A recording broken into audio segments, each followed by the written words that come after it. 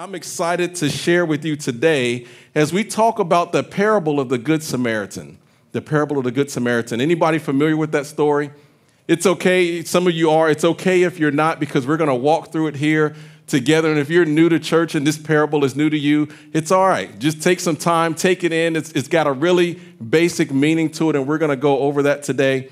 If you're joining us online or on the podcast, thank you so much for choosing to tune in here today as well. And again, I just want to encourage you stick with this. We're going to walk through it. We're going to help you understand what Jesus is trying to explain to us here. And to kick it off, we're going to give you this basic definition. And Pastor Brian has shared this with you guys. Our basic definition of a parable, and it's this it's a practical story that illustrates a biblical principle or a spiritual principle, a practical story that illustrates a spiritual principle. And so, what we're going to do today is we're going to break the parable of the Good Samaritan down based on that definition. We're going to talk about what was this practical story, and then we're going to talk about what is the spiritual principle that Jesus is trying to teach us here, and then we're going to talk about how does this apply to us. Because I don't know if you know this, but we're different than the crowd that he was preaching to. That was a long time ago, so we have to talk about how does that spiritual principle apply to our lives today. Now, our text is going to be in Luke chapter 10. So if you have your Bible with you, you can go ahead and turn there. If you don't have a Bible, uh, you can pull out your phone and go to the YouVersion app, or the scriptures will be on the screen. You'll also see them on your screen if you are watching this online. And I want to start by setting the stage for you for just a moment. Now, when we jump into this parable, when, when these screen or when these uh, scriptures show up on your screen, what you're going to notice is that the word "he" is underlined in several places. And I did that because Luke uses the word he a lot in this parable. And I wanted you to be clear on the he that was talking about the lawyer that's going to ask Jesus a question in a moment, and which he was Jesus. So the he that is Jesus is underlined, it's bold, it's, it's capitalized, all that stuff. I just didn't want you to get confused by all the he's that we are about to see. So if you've already turned to Luke chapter 10, let me hear you say, I'm there. I'm there. All right, we're going to be reading starting in verse 25.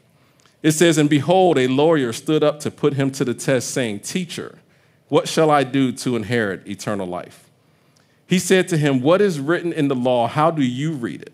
And he answered, You shall love the Lord your God with all your heart, with all your soul, and with all your strength, and with all your mind, and your neighbor as yourself. And he said to him, You have answered correctly. Do this, and you will live. But he, the lawyer, desiring to justify himself, said to Jesus, Who is my neighbor? Who is my neighbor? Now, let me break down this first part for you just a little bit. That statement that you shall love the Lord your God with all your heart and all your soul and all your mind and all of your strength comes from this practice or this, this prayer that the Israelites used to repeat all the time. It's called the Shema, and it's from the book of Deuteronomy in the Old Testament, chapter 6, it starts in verse 4. And that word Shema just means to listen, and not just listen, but to let it sink in. So they had this prayer that they would recite that they're saying, it starts, it says, Hear, O Israel. So God is talking to Israel, and he's saying, Hear this, right? Don't just hear it though, let it sink in. He says, The Lord our God, the Lord is one. Talking about the Father, Son, and Holy Spirit. He is one. And then it says, You shall love the Lord your God with all your heart, all your soul, all your mind, and all your strength. And so, this lawyer who understands that law of Moses very well comes to Jesus and says, What can I do to inherit eternal life? Have you ever wondered that yourself? Like how you're going about this life journey? And what is it that you can do to inherit eternal life? Let me tell you, there's nothing that you can do to inherit it. But thankfully, we serve a God who saw fit to send his son to die in our place. And because of that sacrifice and his blood poured out over us, we can have eternal life as a free gift. There's nothing you can do to inherit it, though. But if you think about this law, Jesus, the, the lawyer said to Jesus, Well, I need to love the Lord my God with all my heart, soul, mind, and strength, with all of my being, with all that I am, and then I need to love my neighbor as myself. And that second part comes from later in the book of Deuteronomy. So they, they kind of combine these things here. These are these great commandments. And if you think about the Ten Commandments, and again, if you're new to church and you're like, I don't know that, you may have seen it hanging on the, on the wall at the library or in your grandmother's dining room. We have these Ten Commandments pulled from the book of Exodus. And the first half of them deals with how do we love and relate to God. And the second half of them deals with how do we love and relate to our neighbors. And so Jesus said, You've answered correctly. Do this and you will live. But this lawyer is trying to trick Jesus. Now, can you imagine trying to trick Jesus? I'm thinking like I'm walking in this situation and there's one person I'm not going to try to trick, and it's Jesus. Because I've heard about this man. I've heard that he can make limbs grow back. I heard that he can restore sight. I've heard that he can call dead people out of a tomb. He talked to the woman at the well and he knew stuff about her life that she hadn't shared with anyone. And this lawyer's like, I'm smarter than Jesus. I'm going to trick him. And it's so the scripture says, seeking to justify himself, he said, Who is my neighbor? And this is where we get to the practical story part of this parable. Jesus is going to tell us a practical story to illustrate a spiritual principle. And I hope you are ready to dive into this practical story, we pick it back up in verse 30. Jesus replied, A man was going down from Jerusalem to Jericho, and he fell among robbers, who stripped him and beat him and departed, leaving him half dead. Now, by chance, a priest was going down that road, and when he saw him, he passed by on the other side. So let's pause here for a second and talk for a moment. So, you have this man who was going down from Jerusalem to Jericho. Now, if you look at a map, Jericho is actually north of Jerusalem, but the reason they say going down is because Jerusalem is, is at a higher elevation.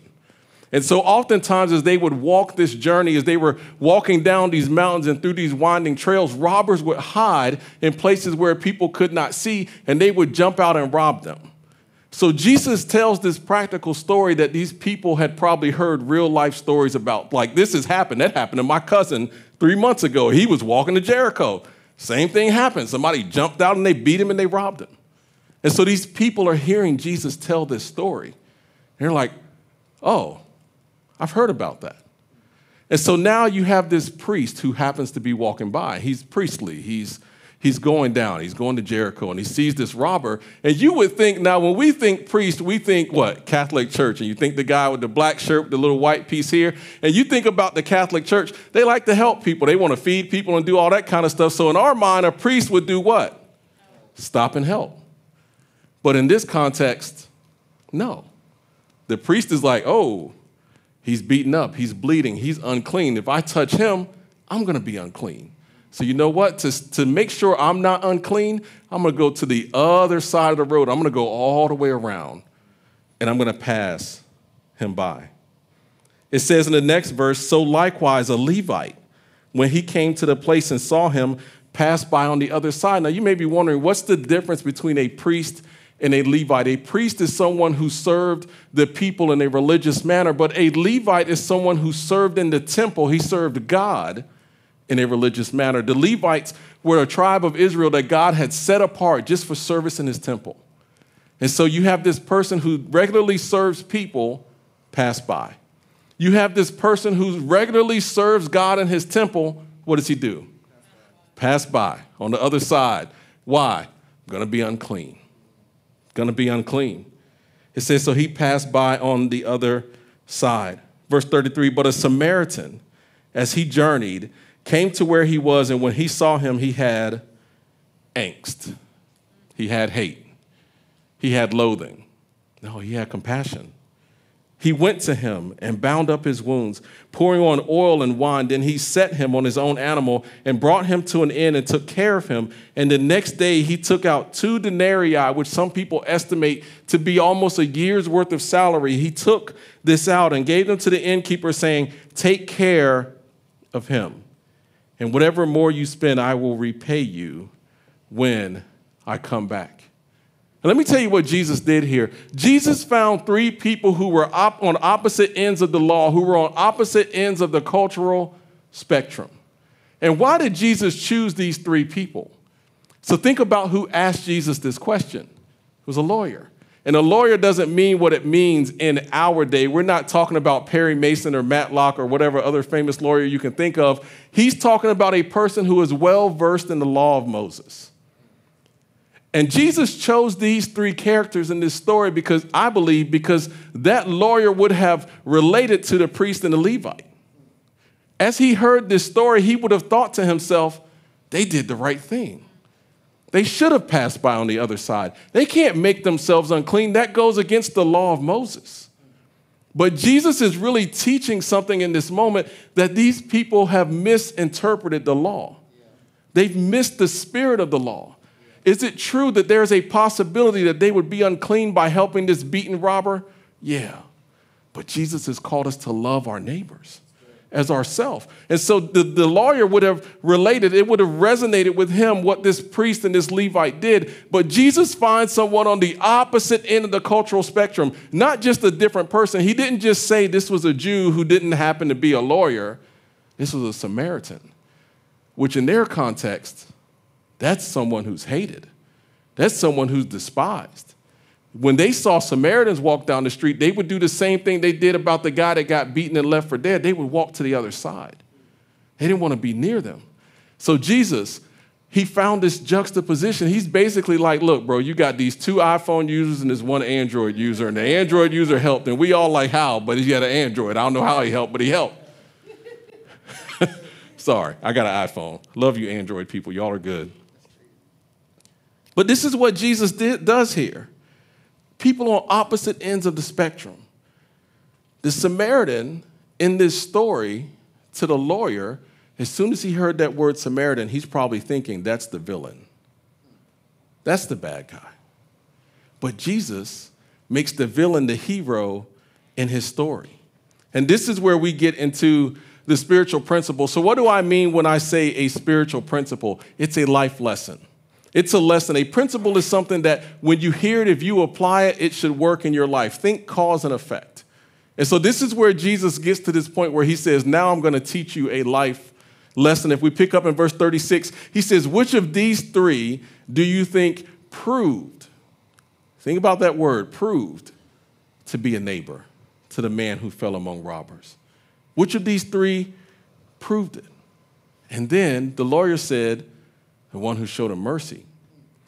So here we have Jesus again. The lawyer trying to trick Jesus, but now Jesus has tricked the lawyer.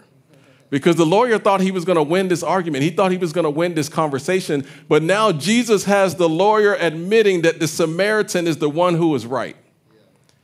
And again, I want you to think about this from a cultural context. This doesn't mean as much to us because we don't deal with priests and Levites and Samaritans. But in this cultural context, what Jesus has done is he has taken the religious one, the one who's always right, the one who knows everything, and have made them the wrong person. And he's taken the one who was the outcast, the unloved, the one that nobody wanted to be with, and said, This is the person who's doing things the right way. And that was heavy for them. And so I believe that Jesus, for us in this, answers two big questions that we need real answers to. And the first question is this Who is my neighbor? Or who is our neighbor? And again, this doesn't mean a lot to us from the context they were talking about it in because there's no Levites walking around downtown Suffolk. You know, there's no Samaritans. I mean, there might be. Let me not say that. There might be, but not in the same cultural context. So it doesn't mean as much to us. But our neighbor are all those that God has placed near us, regardless of race, creed, orientation, socioeconomic condition, or any other label that you and I can think about to put on them. These are our neighbors.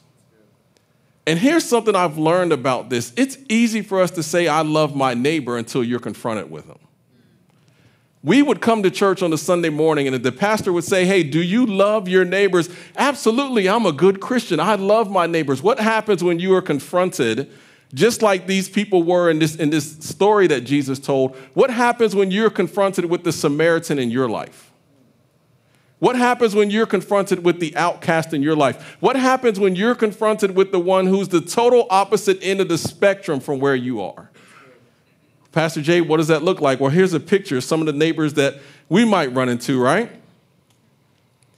So, how do you respond when you run into a neighbor that's in one of these pictures that's not like you. When you're a good Christian, you've been a good Christian all your life, and now all of a sudden the Muslim family moves in next door. And now you say, I love my neighbor, but now you're confronted with someone who's the opposite end of the spectrum from you. When you've been a good conservative Republican all your life, and now the liberals move in next door, and you're confronted with someone opposite from you. When you've been heterosexual and you believe that God's way of marriage and all this stuff is right, and then the gay couple moves in next door to you. How do you love your neighbor? And this is why it's so important that we understand what true love really is. Because if we don't understand what true love really is, we're going to miss this. We're going to think that it's okay for us to hate our neighbor the same way the Jews thought it was okay for them to hate the Samaritans.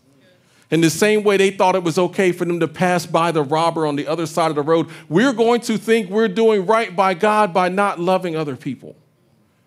Because I promise you, that lawyer and that priest and, they, and that Levite thought that they were doing the right thing. They weren't being malicious. They weren't thinking, I'm going to purposefully hurt this person or ignore this person. They believed they were doing what was right, that they were standing up for God, that they were being holy. And Jesus is saying, No, the one that you consider unholy is the only one who handled this situation properly.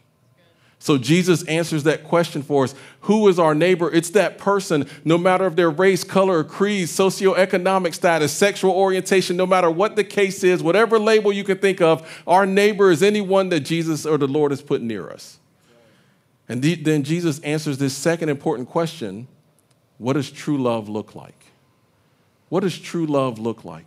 And this passage at the bottom of the slide is from 1 Corinthians 13 4. You may be familiar with this, whether you've been in church or not, that love is patient, it's kind, it doesn't envy, it doesn't boast, it's not arrogant, it does not insist on its own way, it's not irritable or resentful, it does not rejoice at wrongdoing, but rejoices in the truth. It bears all things, believes all things, hopes all things, endures all things. Love never fails. So, what does true love look like?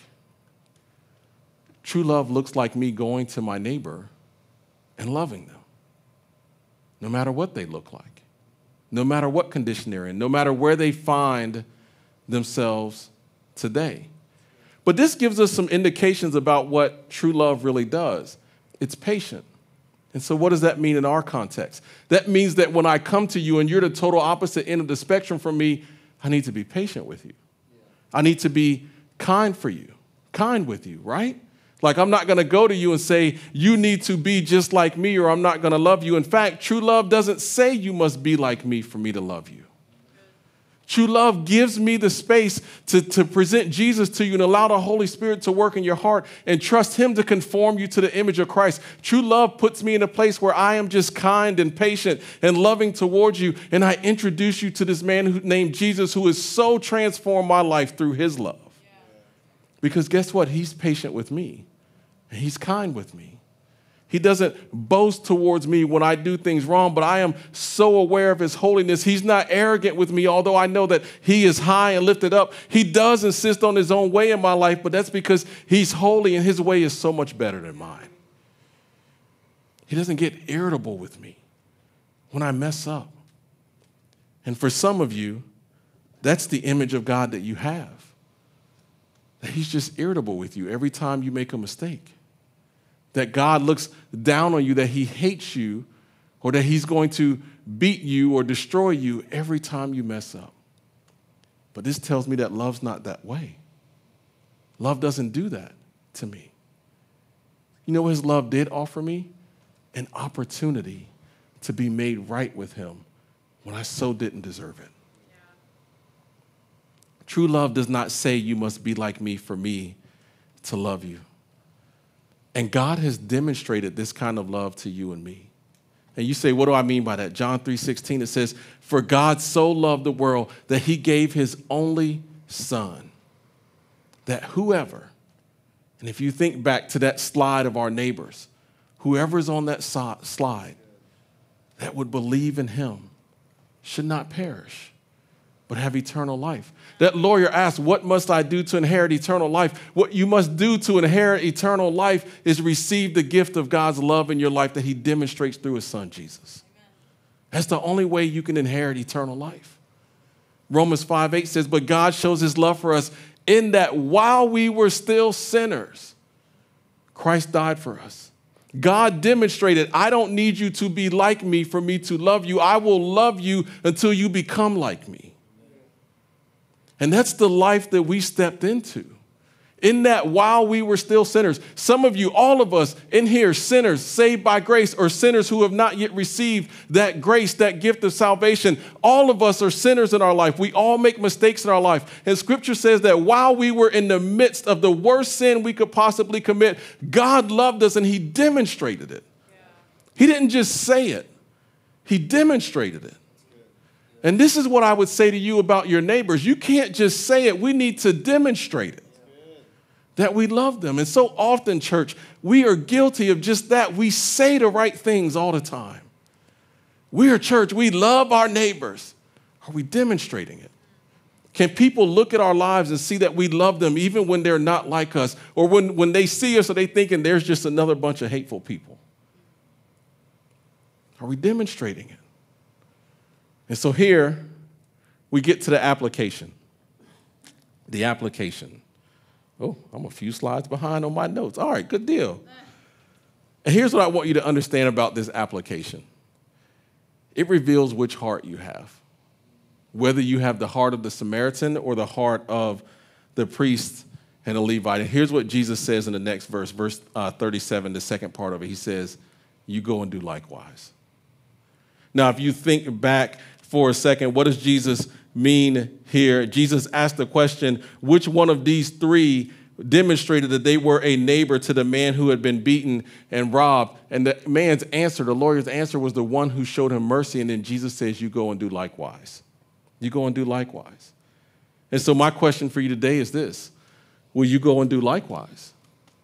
Will you be the one who will go and show mercy? Will you be the one who goes and demonstrates love to your neighbor? Will you go and will you do? And now's where we really need to be totally honest and transparent. The answer is no. Not if we try to do it in our own power. Amen. Not if we try to do it in our own strength. Because here's the truth about this every lesson Jesus taught, every parable Jesus taught, every sermon Jesus taught, all pointed back to one thing we are incapable of doing any of this apart from Him. We have to be so in Him to be able to step out in Him and do these things. Because what happens is we'll hear a message like this and we'll leave here today. And I've been convicted all week as I'm studying, and now you're hearing this message, and you'll leave and say, I need to love my neighbors. And you will go out and you will make a valiant effort. And if you do it in your own strength, a week from now, a neighbor will upset you and you will hate that group again. You'll see something on the news about the liberals are doing this or the conservatives are doing this or I can't believe Trump's running here and I can't believe what's going on with President Biden and I can't believe the Muslims are over here doing this. And you'll get so caught up in all of that that you will start to hate your neighbor again, whether you realize it or not. If you do it in your own power. We can't do any of this in our own power and our own strength. We have to rest in the strength of God you think about all these parables, and Pastor Brian kicked it off on Father's Day talking about the prodigal son. And so often we look at how the son made this decision and he came back, but guess what? It was the father. The son needed a father who would receive him. He couldn't do it on his own, he needed a father to receive him. We think about this Good Samaritan. You and I can't do this stuff on our own. We need the power of God, the love of God inside of us to be used as a vessel and a conduit for His love to flow through us. We can't do this on our own.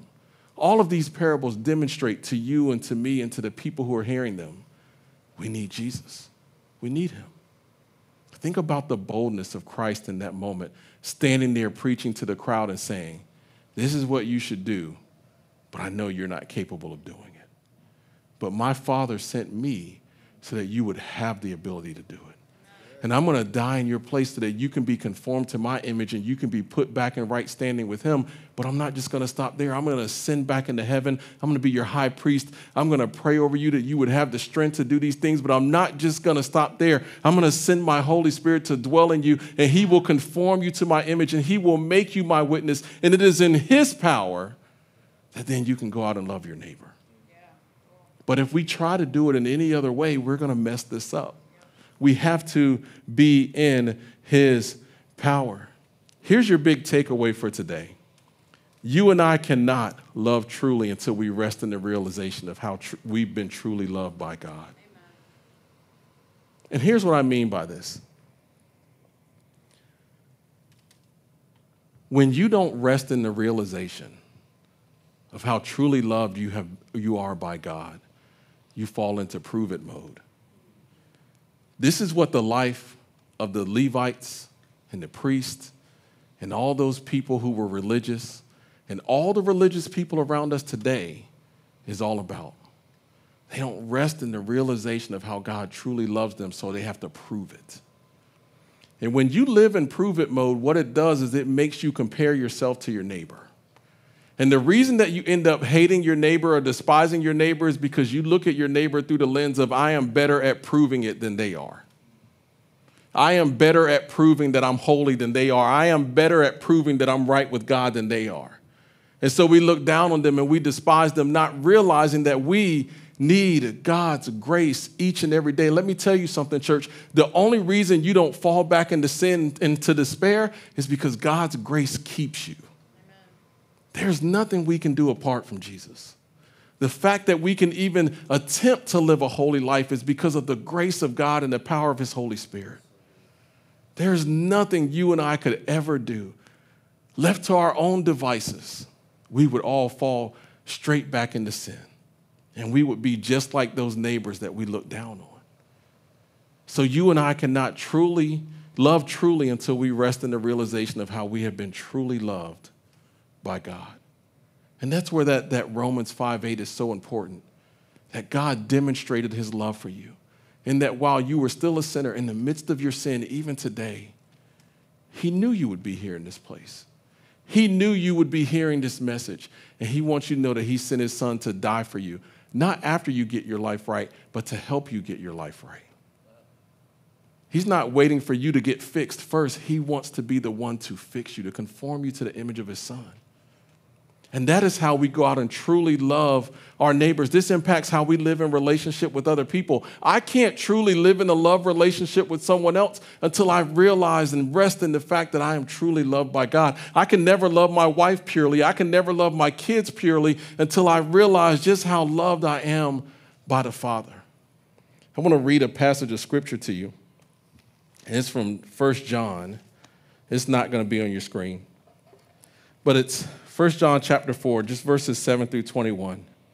He says this He says, Beloved, let us love one another, for love is from God. And whoever loves has been born of God and knows God. Anyone who does not love does not know God because God is love. In this, the love of God was made manifest among us, that God sent his only Son into the world so that we might live through him. In this is love, not that we have loved God, but that he loved us and sent his son to be the propitiation, the substitute for our sins. Beloved, if God so loved us, we also ought to love one another.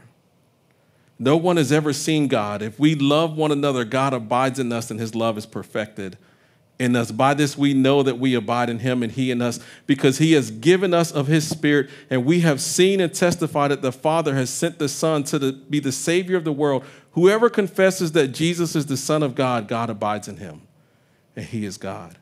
So if that is your confession, God abides in you. So we have come to know and to believe that the love that God has for us, God is love. And whoever abides in his love abides in God, and God ab- abides in him. By this is love perfected with us, so that we may have confidence for the day of judgment, because as he is, so are also we in this world.